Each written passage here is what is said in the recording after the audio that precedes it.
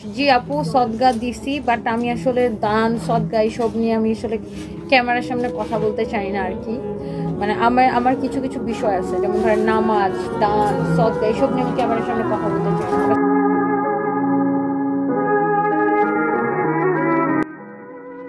ব্যর্থ হলো আধুনিক ডাক্তার বিজ্ঞানের সকল চিকিৎসা। এতটা সময় চেষ্টার পরেও আর ফেরানো গেল না জ্ঞানশূন্য স্বামীর সুস্থতা। আর সেই মুহূর্তে স্বামীর শেষ রক্ষার জন্য মহান আল্লাহ তালার দরবারে হাত তুলেছেন তনি। আশা ছিল স্বামীকে কোনোভাবে সুস্থ করে তুলতে পারলে তাকে নিয়ে হজে যাবেন তনি। কিন্তু সেটা আর সম্ভব না হয়, এবার ছেলে মেয়েদের সঙ্গে নিয়েই ওমরা হজ পালনে মক্কায় উপস্থিত হয়েছেন তনি। সবকুল হারিয়ে বাকি চেষ্টাটাও আর বাদ রাখলেন না রুবায়ত ফাতিমা তনি। ওমরা হজের উদ্দেশ্যে ছেলে মেয়েদের সঙ্গে নিয়ে মক্কায় উপস্থিত হয়েছেন গতকাল।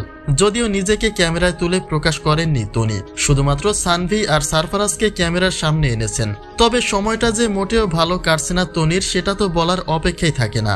চিকিৎসা বিজ্ঞানের সকল চেষ্টায় ব্যর্থ হয়ে মক্কায় আল্লাহর দরবারে শেষ ফরিয়াদ জানাতে এসেছেন তনি।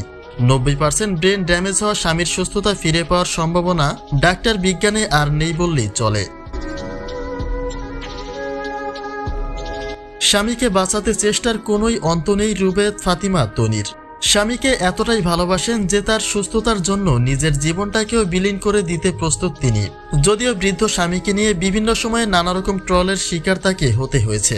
যাকে ছাড়া একটা মুহূর্ত নিজেকে ভাবেননি তনি। টানা দুইটি মাস ধরে ব্যাংককের মতো একটা জায়গায় আইসিইউতে স্বামীর চিকিৎসা চালাচ্ছেন তনি। অর্থনৈতিকভাবে নানাভাবে নানা সংকটের মুখেও পড়তে হচ্ছে তাকে।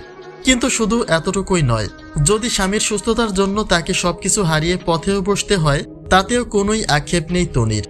কিন্তু আর কোথায় গেলে মিলবে প্রাণপ্রিয় স্বামীর সুস্থতা? সেই ভাবনায় দিশেহারা পথ হারছেন রুবেদ ফাতিমা তনি।